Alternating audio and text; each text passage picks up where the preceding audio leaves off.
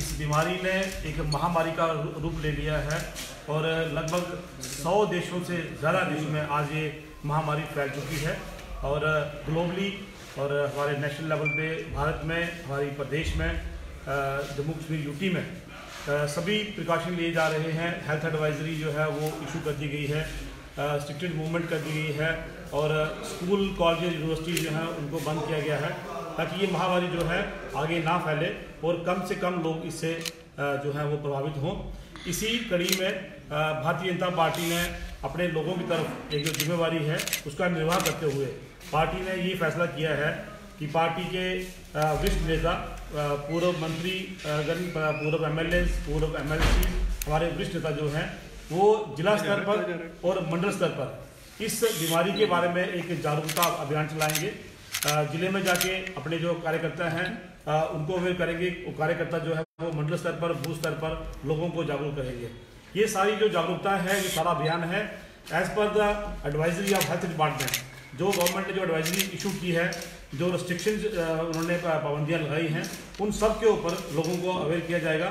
क्योंकि हम समझते हैं कि जिस तरह पूरे आज सोशल मीडिया में इलेक्ट्रॉनिक मीडिया में प्रिंट मीडिया में ये बात निकल आ रही है कि प्रिवेंशन जो है, वही इसका इलाज है, इस बीमारी का अभी तक कोई भी इलाज जो है, वो नहीं मिला है। और अपने आप को हम बचाएँ। और जैसे आदरणीय प्रधानमंत्री नरेंद्र भाई मोदी जी ने कहा है कि कोरोना से लड़ना है, कोरोना से डरना नहीं है। तो सब मिलकर इस महामारी को रोकें। आज आपके माध्यम से जो पेपर में आ रहा है, जो डब्ल्यूएचओ ने वर्ल्ड हेल्थ ऑर्गेनाइजेशन ने ये बात कही है कि भारत जो है, वो लगभग पहली स्टेज से के लास्ट में आ चुका है और शायद कुछ दिनों में अगर केस बढ़ते हैं गार्ड फॉरवर्ड अगर केस बढ़ते हैं तो ये सेकंड स्टेज में चला जाएगा। ये चार स्टेजेस में आती है ये महामारी। पहली स्टेज लगभग हमने खत्म कर ली है। दूसरी स्टेज तक अगर हम इसको कंट्रोल करते हैं इसको रोकते हैं तो मुझे लगता है कि ये महामारी हिंदुस्तान में अपने पैर, पैर जो है ज़्यादा प्रसार नहीं पाएगी।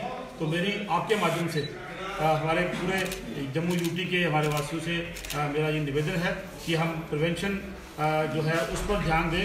स्कूल कॉलेज बंद हैं। मूवमेंट उतनी ही करें जितनी ज़रूरत है। बड़ा ज़रूरी है फिर ट्रैवल करें अब बहुत ज़रूरी है तब जाएँ। शादी ब्याह या कोई भी फ़ंक्शन है उसको पोस्टपोन करें या फिर उसमें संख्या जो है वो कम से कम करें।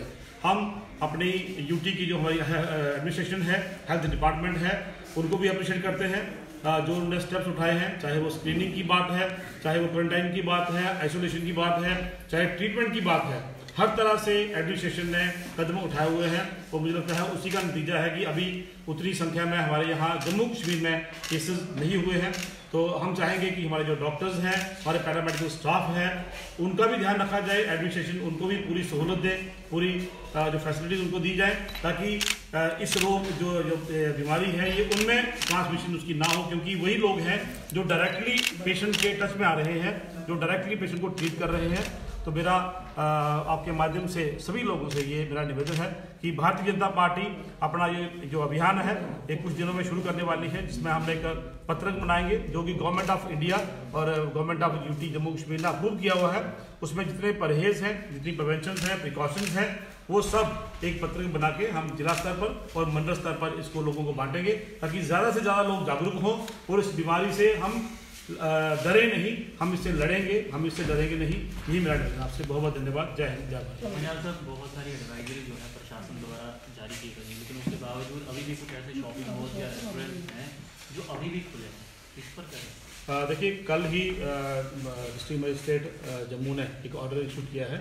और मुझे लगता है जो मैंने वो पढ़ा है उस ऑर्डर को काफ़ी सख्ती से उसका पालन होगा। कल भी शायद रात में कुछ पुलिस के द्वारा कुछ ढाबे कुछ रेस्टोरेंट बंद किए गए हैं। थोड़ा समय लगेगा लेकिन मुझे लगता है जल्दी ही ये जो रिस्ट्रिक्शंस हैं इन पे इनको इम्प्लीमेंट करेंगे। और यही एक रास्ता है इस बीमारी को आगे फैलने से रोकने का। परिहार साहब जिला डोडा से हैं आप। जिला डोडा में किस प्रकार की तैयारियाँ हैं इस कोरोना वायरस से लड़ने आपके ध्यान में होगा कि जिला डोडा में सेक्शन वन फोर फोर वहाँ पर लागू की गई है। और पूरे प्रिकॉशन लिए जा रहे हैं। वहाँ कोई ज़्यादा गैदरिंग ना हो, स्कूल कॉलेज सारे बंद किए गए वहाँ पे। और डिस्ट्रिक्ट एडमिनिस्ट्रेशन काफ़ी अलर्ट है इस मामले में कि कम से कम लोग बाहर सड़कों पे आएँ, कोई गैदरिंग में आएँ। और इस, जो पब्लिसिटी जितनी भी करनी चाहिए इसके लिए, यहाँ तक कि गाड़ियों में लाउड स्पीकर लगा के रूरल एरियाज़ में जाके वहाँ पे भी लोगों को बताया जा रहा है कि कम से कम लोग बाहर निकलें, इसमें ज़्यादा गैदरिंग इसमें न हो। वो पूरे प्रिकॉशन वहाँ पर लिए जा रहे हैं। Thank you